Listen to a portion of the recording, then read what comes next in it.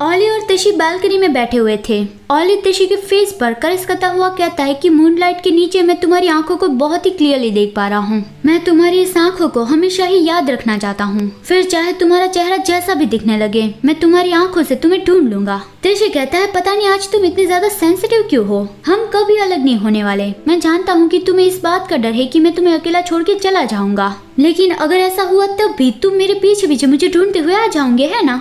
और वो अली को आसमान की ओर देखने के लिए कहता है कि वहाँ पे देखो, अगर तुम मुझसे प्यार करते हो तो फिर मैं एक स्टार बन जाऊँगा और फिर वहाँ आसमान से ही मैं तुम्हें हमेशा सपोर्ट करता रहूँगा। लेकिन अभी यहाँ पे देखो, अभी तो मैं तुम्हारे साथ हूँ ना? अभी हम दोनों साथ हैं तो हमें कुछ मज़ेदार चीज़ें करनी चाहिए। त्रिशी ने बहुत ही फनी चेहरा बनाया था तो फिर ओली हंसने लगा और वो कहता है कि हाँ तुमने सही कहा। मैं इंतज़ार करूँगा, जब तुम्हारा मन होगा तब तुम मुझे सब कुछ बता देना। और अब आगे से जब भी तुम अपने टास्क पूरे करने चाहोगे तब तुम मुझे भी अपने साथ ले जाना। त्रिशी थोड़ा सोचता है और फिर उसके बाद कहता है कि हाँ ठीक है।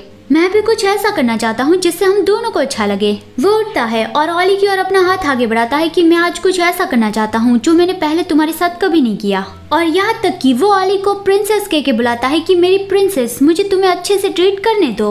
ओली ब्लश हो गया और कहता है कि, मुझे इसकी आदत नहीं है, तुम मुझे उस नाम से क्यों बुला रहे हो? त्रिशी उसके करीब आ गया और कहता है कि मैं तुम्हें उस नाम से क्यों नहीं बुला सकता? जब हम दोनों अकेले होंगे, तब मैं तुम्हें इसी नाम से बुलाऊँगा। फिर वो बहुत सारा लव मेक करते हैं और फिर सुबह हो गई। ओली पहले जाग गया था और वो तिशी को देखता हुआ सोच रहा था कि तुम अब पूरी तरह से रोबोट बन गए हो, लेकिन मुझे कुछ भी अजीब महसूस नहीं हुआ। शायद एक रोबोट के पास भी उसका खुद का एक दिल होगा। और उस दिल में उसके खुद के इम्पोर्टेंट पर्सन होंगे।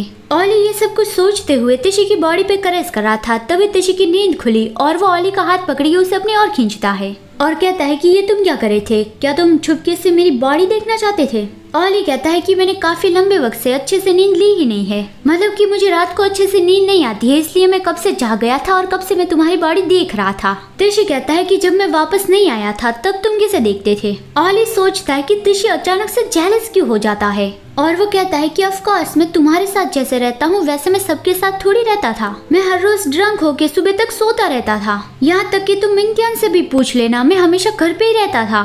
तशी कहता है कि हाँ ठीक है। लेकिन तुम मुझे ये बताओ कि अब तुम्हें दूसरों के टच से एलर्जी क्यों नहीं होती? सिशी ने तुम्हें टच किया था, फिर भी तुम्हें एलर्जी क्यों नहीं हुई? ओली बताता है कि मेरे फैमिली डॉक्टर ने ये दवाई ढूंढी है, जिससे मेरी ये बीमारी ठीक हो गई है, ताकि मैं ओ फैमिली में वापस जा सकूँ। तुम्हारे जाने के बाद जो कुछ भी हुआ, मैं वो सब कुछ बता दूँगा। लेकिन मैं तुमसे एक चीज़ जानना चाहता हूँ। तुम्हारे साथ जो कुछ भी हुआ हो, चाहे तुम मुझे वो बताना चाहते हो या फिर ना चाहते हो, मैं तुम्हारे साथ चलना चाहता हूँ। मतलब कि इतने वक्त तक तुम जहाँ पे थे, वहाँ पे मुझे भी अपने साथ ले चलो। त्रिशी सोचता है कि आज पहली बार मुझे ऐसा फील हुआ कि मैं मैं बन गया हूँ।